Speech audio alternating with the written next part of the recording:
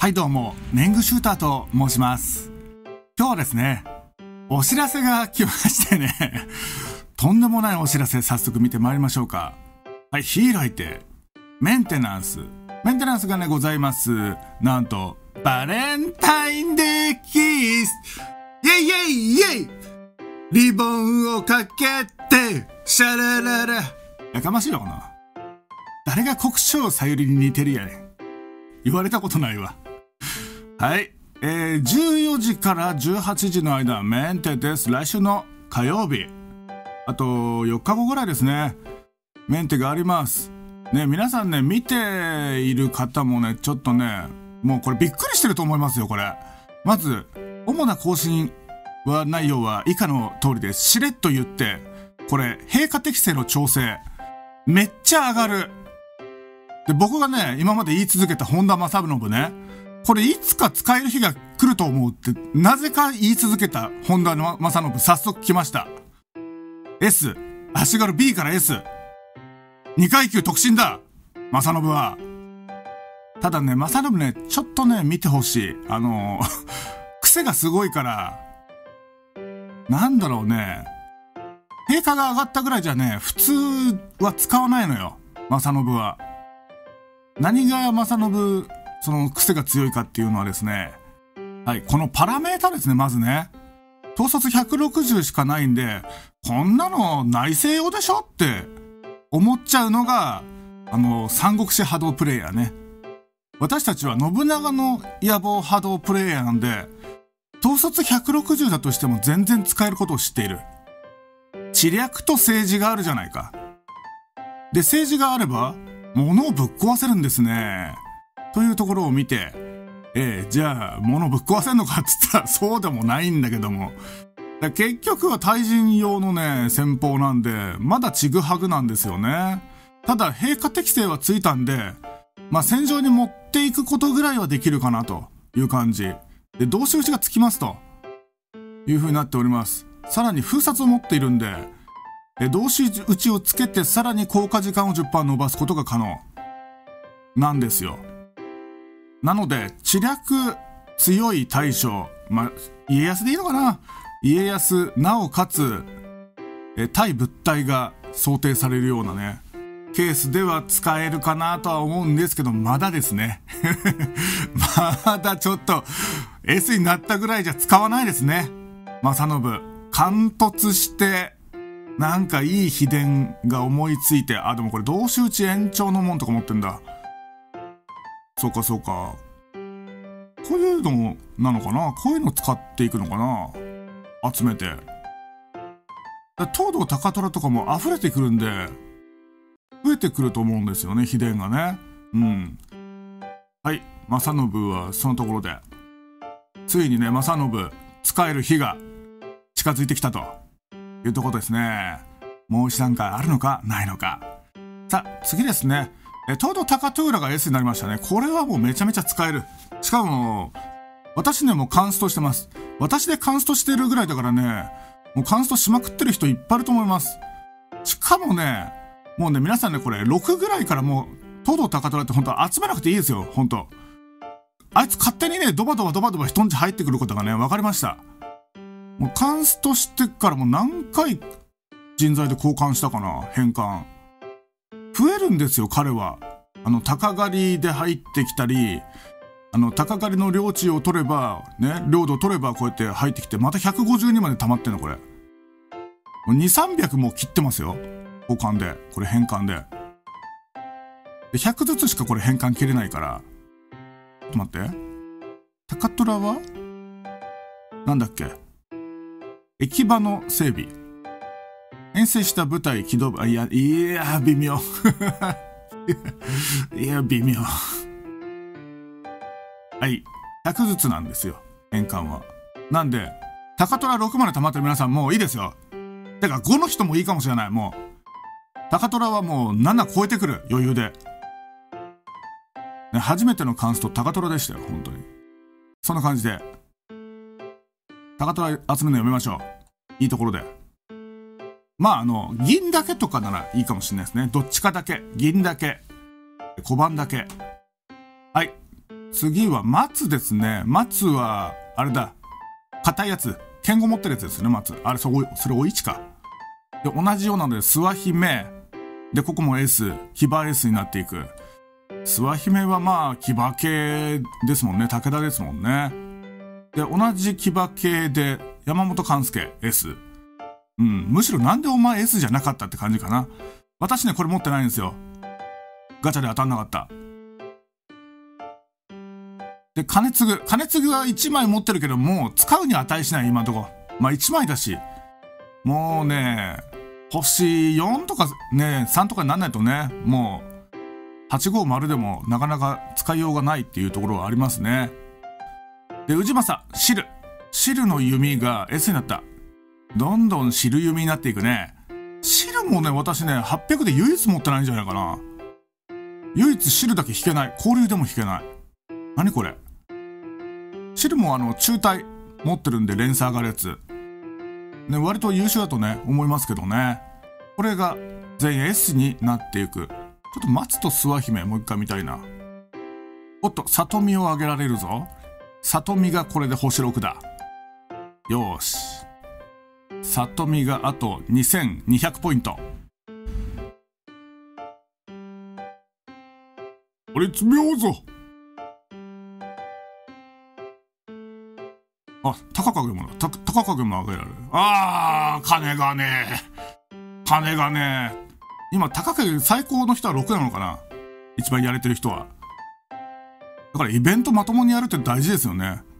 イベントまともにやってる人は多分、えー、次、次かその次かの高影のイベント来たら、完走するのかな？次はないか。はい、松。松星3だけど、全然使わないな。これが、えー、足軽 S ですね。内助。内助とかね、ねねと合わせて使うといいかもしれないですね。この知略系は。うん。先方は結束と武勇20%上昇。弱いな結束ってね、これ15%付与ですけど、結束に結束を足しても足し算にならないみたいなんですよ。テキストヘルプで見たんですけど。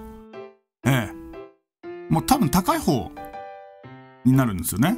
で、結束15%付与と、もう違うまた武将で結束10%付与出てったらこの15%の方だけが有効で、あとは時間か。時間なんかも長い方が有効になるのかな。そんな感じで、足し算にはなんない、結束は。15%は15%のまま。で、25%が出現したら25%だと思います。はい。確かテキストヘルプの書き方を見る限りは、違ったらまた教えてください。はい。諏訪姫が星に。これも慈悲持ってんのか。慈悲はでもなこれ負傷兵生存だから戦闘には関係ないんですよね、あんまりね。再起、知略が上がる。武田家において知略が上がるというのはいかに？先方、2部隊の攻撃25%上昇。これはいいですね。対部隊向き。弱化2つ消し。ああ、でも使ってないなまあ、星がないのもありますけどね。で、ただ勝つなんですよね。ただ勝つが、いつになったらこれ、実戦レベルになるのか。今、星1。星3ぐらいいかないとダメかな。あれと違いますからね。元なりとは違いますからね。一撃はやっぱ強そうだけどな。剣豪も持ってるし。これ編成がね、ただ活用編成がっちり作んないといけないですからね。はい。陛下適正のところはその辺で。次、先方ですね。これがね、えー、吉本信玄、秀吉と、えー、氏康と。この4武将をぶっ壊れ武将にしようとしてますね。要は900はこれで、全員強いみたいなイメージですかね。もう元からだって信長謙信なんかは強いし、これ全部強くなったんじゃないかなっていう気がしないでもないですけど。で、どういう追加かと言いますと、えー、知略200%攻撃などの先方ダメージ攻撃が追加されることになりました。これそのまんま情報修正ですね。何かを下げる代わりにこれ上げるじゃなくて、そのまんまドンと先方ダメを乗せましたね。これいきなりインフレしますよ、これ、世の中。ねえ。ちょっと言っちゃ悪いけど僕たちやっぱりね、テストプレイヤーみたいな側面あるんですよ、だから。足りてないから、上げても大丈夫だろうという感じですね。だから先方結構、三国志波動に比べて先方とかなんか先方感覚とか弱かったりするじゃないですか。後から情報修正すれば僕らあんまり文句言わないですもんね。あんまり上げすぎなければ。逆に下方修正されたら結構がっかりしちゃう。やっぱその心理を見ると、元をちょっと弱くしといて、要はベース、ベースの何もないパウンドケーキ、パウンドケーキは何もなくない。スポンジケーキ。何もないスポンジケーキを用意してって、なんかクリームを乗せてったら、喜ぶという心理をついているのではないかと思います。まあ、喜ぶけどな。うん。いや、最初からこれから考えとけって思いたいけどね。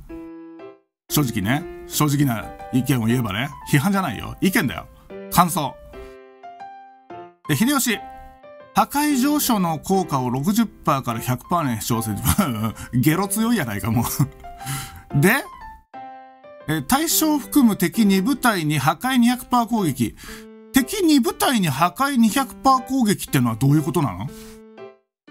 破壊200%のダメージってあんの？人に対して。これなんだろうな？破壊、破壊される部隊が現れるのかな？え？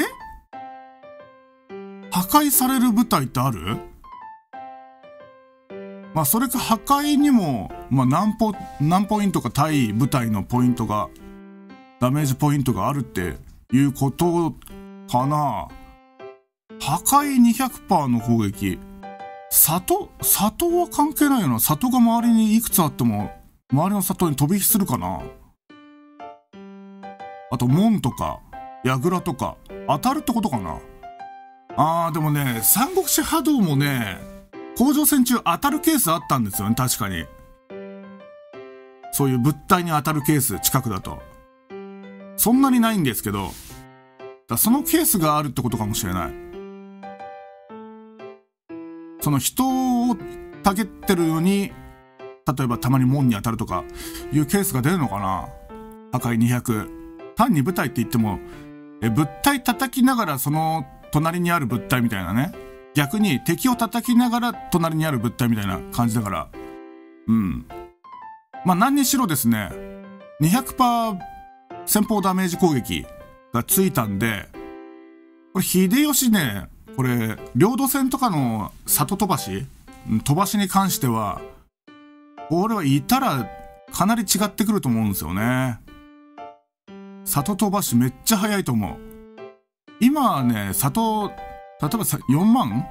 今、だいたい4万ですよね、里の耐久って。